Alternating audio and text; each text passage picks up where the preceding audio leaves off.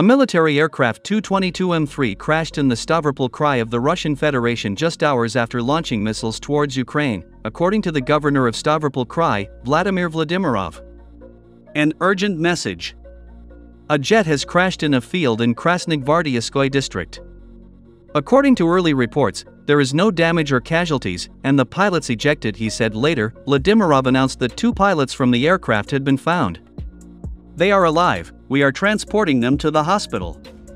All emergency services are at the scene, he wrote. That he did not provide any other details, but posted a photo of the crashed jet. Monitoring Telegram channels reported that a Tu-22M3 which Russia uses for strikes in Ukraine crashed, stating that it was downed. The Russian Ministry of Defense confirmed the crash of the Tu-22M3 in the Stavropol Krai. The aircraft crashed after completing a combat mission while returning to the base. Preliminary investigation suggests technical malfunction as the cause of the crash. Three crew members have been evacuated, and the search for one pilot is ongoing. There were no munitions on board the aircraft, and there is no damage on the ground, the statement said. Meanwhile, the Ukrainian ground forces reported that footage shows the crash of a Tu-22M3 aircraft of the Russian Aerospace Forces, which had launched missiles towards Ukraine overnight. Russian media released video footage of the burning wreckage.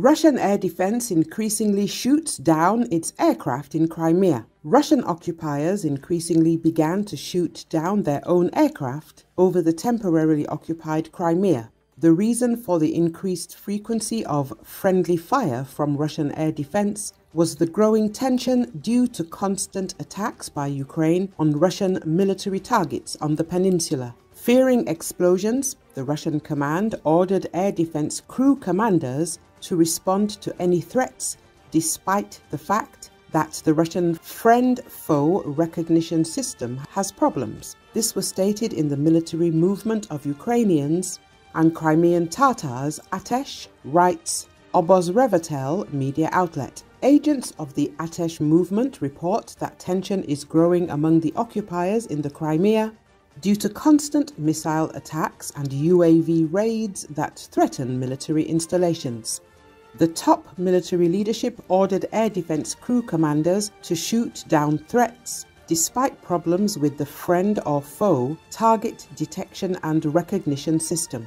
However, faced with constant missile attacks and UAV raids, commanders of air defense crews are forced to carry out target designation virtually in manual mode. Thanks to this, Strikes often occur against their own air targets, the report noted. Thus, the 12th Anti-Aircraft Missile Regiment of the 31st Air Defense Division of the Russian Federation especially distinguished itself in this direction. Over the past few weeks, it shot down two military aircraft of the Russian occupiers. Recent Ukrainian strikes have increased pressure on Russian air defense systems and may be leading to Russian forces shooting down their own planes, the UK Ministry of Defense said earlier.